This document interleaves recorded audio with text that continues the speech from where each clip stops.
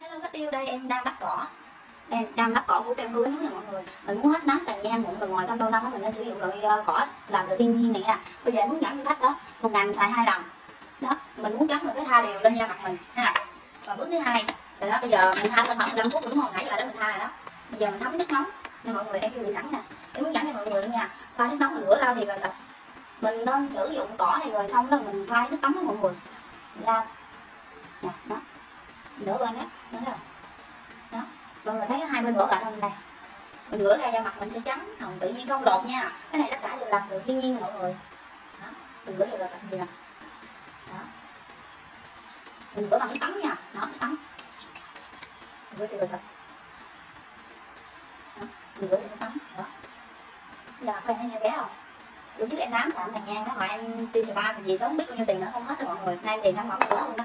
Đó, mình đắp xong rồi bước thứ hai mình xài siêu siêu mình thay nó bốn tóc đó đó, mình massage da mặt mình thì đều nha.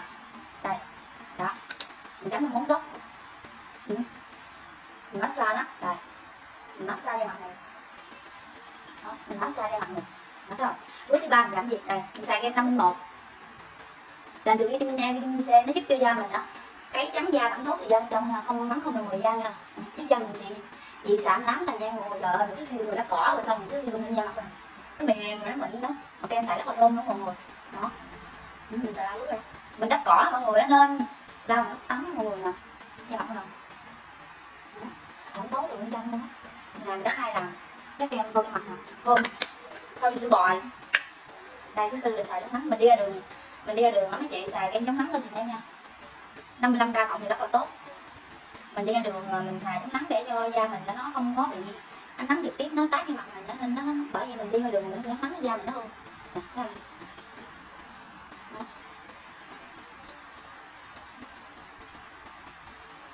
mình hai cái mặt nó nóng mình làm xài hai lần mọi người. Dạ.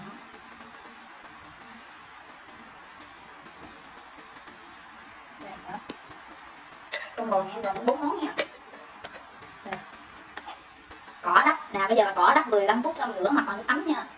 Rồi cái uh, bước thứ hai mình xài serum thay lên bốn dòng thay cho đều da mặt mình hết mấy chị cho thấm. Cho nó mềm da mình xong mình sức kem năm một này vô. Tất cả làm đều collagen hết.